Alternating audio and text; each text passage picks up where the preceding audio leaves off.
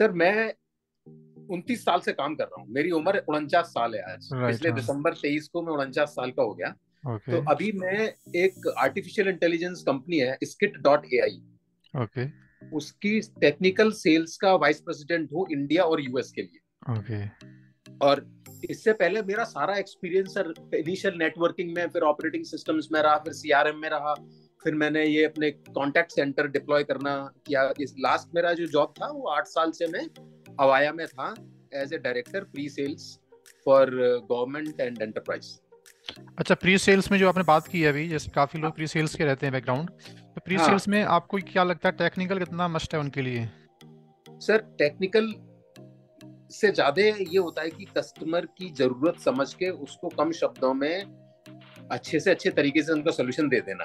है ना? हम्म, तो हर फ़ील्ड की टेक्निकल प्री सेल्स अलग होती है। जैसे कि सीआरएम की प्री सेल्स होती है तो वो इट्स मोर अंडरस्टैंडिंग कि भाई बिज़नेस उन, उन, उनके से फॉर एग्जांपल एचआर कैसे चल रहा है पेरोल कैसे चल रहा है सिस्टम उनका ईआरपी कैसे चल रहा है कैसे चलना चाहिए वर्क फ्लो वो समझ के फिर आप उनको एक आर्किटेक्चर बताते देखो आप इसको ऐसे ऐसे लगाओ और फिर थोड़ा प्रोडक्ट का डेमो देते हो।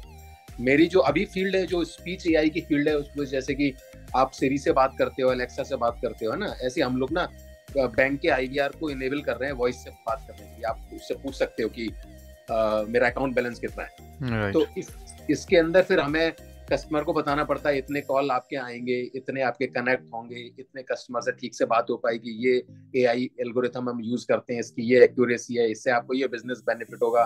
फिर उसका एक. डेमो दे देते हैं। ओके तो अभी जैसे रिसेंटली आपने कंटिन्यूस क्यूबरनेटी टेक्नोलॉजी को अभी आपने पढ़ा है। हाँ। ओके एंड अभी इसका आपने एग्ज़ाम भी निकाला हुआ है। तो हम्म। उस उसमें आपको क्या लगा कि प्री सेल्स में या आपके स्किल्स में क्या उसकी नीड पड़ी आपको वैसे अभी तक? क्या समझ में आया आपको? हाँ, ऐसा होता है जैसे हमारा पूरा जो प्लेटफॉर्म है सैस बेस्ड प्लेटफॉर्म है जो हमारा सॉफ्टवेयर एप्लीकेशन वो एडब्ल्यूएस पे डिप्लॉयड राइट और एडब्ल्यूएस पे कुबरनेटिस के थ्रू डिप्लॉयड है वो सारा प्लेटफॉर्म पता है मालूमात है कि चीज़ें पीछे चल कैसे रही हैं। तो जो भी आपने सिखाया है उससे मेरे को बहुत ये बात का फ़ायदा मिला कि अब कोई भी कस्टमर क्वेश्चन पूछता है तो मैं समझ पाता हूँ। कि वो क्या पूछना चाह रहा है उसको कैसे बताना है कितना बताना है वो उसको कॉन्फिडेंस आई मीन डिस्कशन थोड़ा आपका हेल्दी हो जाता है मीन टेक्निकल हाँ, से ना? हम्म, correct, कि बंदा चीज़ों को समझ पाए तभी प्लानिंग कर पाएगा उसको। करेक्ट करेक्ट अच्छा आपके इस इस एक्सपीरियंस पे आप क्या आई मीन कुछ ऐसे सजेशंस देना चाहते लोगों के लिए?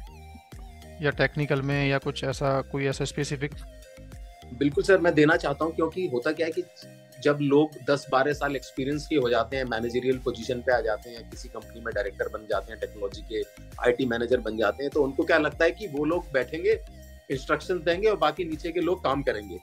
लेकिन अभी दुनिया बदल गई है। मैं अब देखो सर वाइस प्रेसिडेंट के रोल पे काम करता हूँ इंडिया और यूएस के लिए, मेरे अंडर में भी आदमी है। लेकिन आज एक्सपेक्टेशन मैनेजमेंट की है कि जो आदमी लोग करेंगे, वो तो वो करेंगे। तुम क्या करोगे? तुम्हारी क्या एक्सपर्टीज है?